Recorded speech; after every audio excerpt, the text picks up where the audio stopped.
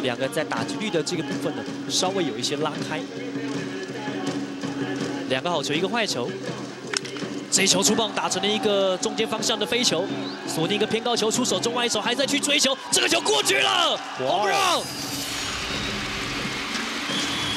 在两出局的情况之下，潘武雄敲出了本季的第六号全垒打，直接过大墙。状况真的真的一流的，那个球稍微偏高一下哦，顺势打到中外野，那个力道的运用真的太完美了。是。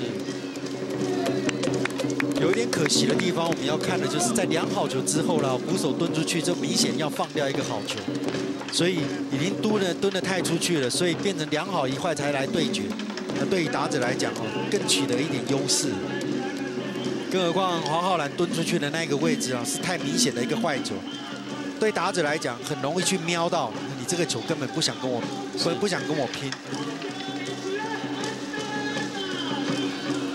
前面杨教练当然有分析到，就曾兆豪在第一局其实球压的蛮低的，刚刚那或许可能会是这一局唯一的一个失头球，呃，但这一不注意就被被直接扛出去。对，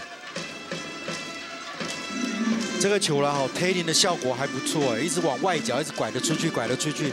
其实这个球应该讲的。他给潘武雄打得太厉害了。